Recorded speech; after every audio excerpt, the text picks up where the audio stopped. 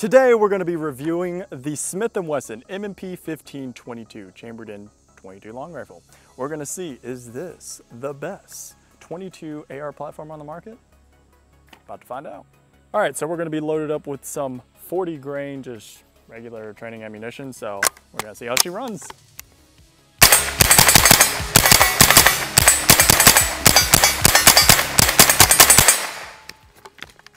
Yeah, so this thing, 25 rounds, lots of firepower, but you know what also is more firepower? Just having more guns. Uh, when you can get 10% off at Lamont's Firearms using our code CGA10, all right? You're gonna get 10% off prices that are already really, really great, very competitive. So that's a big deal. If you wanna look in some guns, go check them out. Lamont Firearms, 10% off, go get you some guys.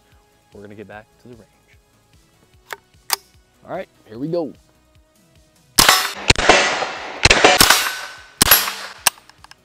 Uh-oh. Uh-oh. Hey, whoa, guys, look at this. We have a bit of a jam. That thing, if you can see, is kind of pinched in there with a live round. All right, both dropped out. Oh, did it again. Oops, I did it again. No, I was kidding. So, uh, yeah, same. Is there live? Yeah, it keeps doing that. Okay. We are using cheap Aguila uh, ammo mixed in with some Thunderbolt, but that is few and far between on the Thunderbolt side, which has done quite well for us in the past. And I guess, yeah, let's just keep seeing what happens. So here we go.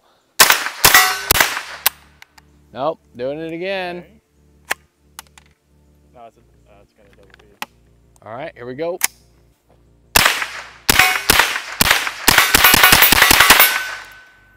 All right, so we have the mag out and obviously there is nothing in the chamber. Safety is on. So uh, first shooting impression kind of out of the box, how this thing is running. Unfortunately, uh, we do gotta admit, so we planned to shoot this video uh, about a month ago um, and we had audio issues, so that's why we never released it to you guys. Um, but we were kind of having the same issue then as you just saw with Skyler. So, and we actually ran uh, stingers through it. So CCI stingers, those are kind of hot rounds. It's doing the same thing. So very interesting. We oiled her up and everything, kind of broke it down, didn't see anything wrong with it. Um, if this issue does keep happening, we might have to contact Smith & Wesson themselves and just see what's going on.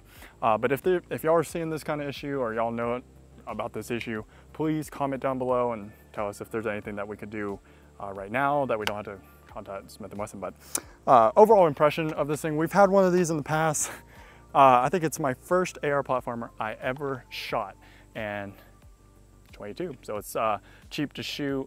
It's uh, very lightweight, obviously. There's a, a, lot of polymer on here. Quality of this build is pretty damn solid. So nothing too crazy or anything. Obviously, it's just got the irons and everything. It's uh, pretty basic stock and everything. Nothing too crazy, but it's supposed to be reliable and everything and typically runs really smooth. It's got the M-LOK rail and everything. I think it looks really nice, especially for the price, um, but we're gonna keep running her and see if we're running into this issue. Out of the box, she's doing all right, except for that one thing. So I'm gonna lower her up.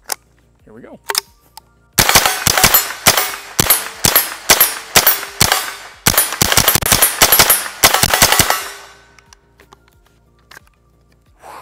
my gosh, those yeah, it went like those gases are making me feel like I'm in a certain chamber that I'm not going to say on YouTube because I don't want to get demonetized. Hell, we're going to get demonetized anyways. But no issue there. So I don't really know what the situation is. It's kind of intermittent.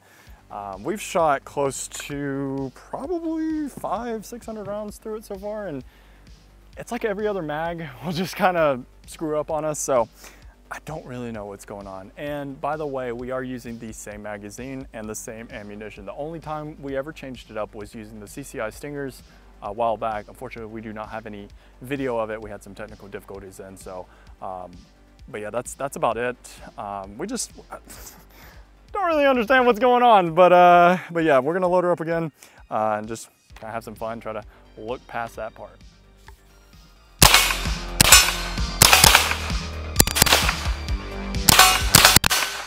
All right, so we're at our mile and a half range here. Um, just kidding.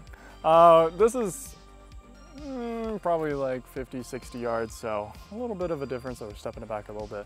Um, if you've noticed that we keep on saying it's like different yardage every time we come back here, it's because we don't actually know what the it is. So just roll with us, all right? But it's at least five, all right? So here we go.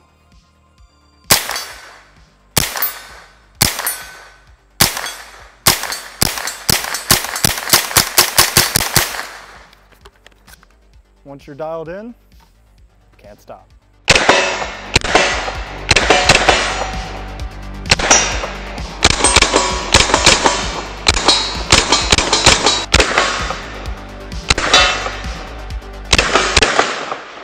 So we hope you enjoyed the review over the M&P 1522. Again, we're going to kind of revisit this later on down the road uh, because kind of running some issues, either it works, it doesn't work. So uh, we're definitely gonna keep you guys updated about that. Uh, we're gonna, next time probably gonna get some different ammunition, some hollow points, some stingers, kind of show you what it runs, what it doesn't run, or will it hopefully um, run. Anyway, great gun, obviously. It's, uh, it's by a trusted company, Smith & Wesson. Love you guys. Um, kind of disappointed uh, a little bit, but again, we will keep on the channel, kind of figure it out. We might even contact Smith & Wesson just to see what is going on. And again, check out Lamont Firearms CGA 10 for 10% off on your next purchase. And I think that's it. Is there anything you want to say, Skyler? God bless America. God bless America. We'll see you guys in the next video.